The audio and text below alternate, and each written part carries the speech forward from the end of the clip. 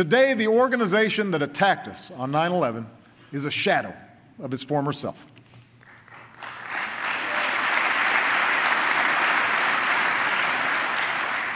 It's true, different Al Qaeda affiliates and extremist groups have emerged from the Arabian Peninsula to Africa.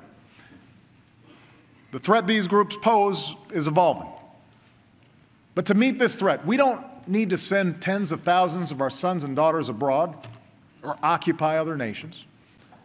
Instead, we'll need to help countries like Yemen, Libya, and Somalia provide for their own security and help allies who take the fight to terrorists, as we have in Mali and where necessary, through a range of capabilities.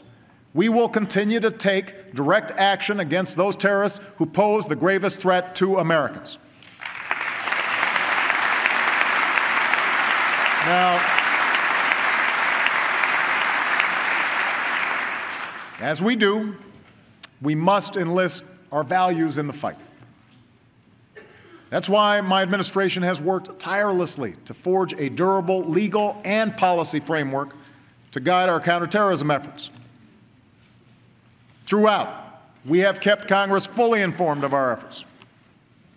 And I recognize that in our democracy, no one should just take my word for it that we're doing things the right way. So in the months ahead, I will continue to engage Congress to ensure not only that our targeting detention, and prosecution of terrorists remains consistent with our laws and system of checks and balances, but that our efforts are even more transparent to the American people and to the world.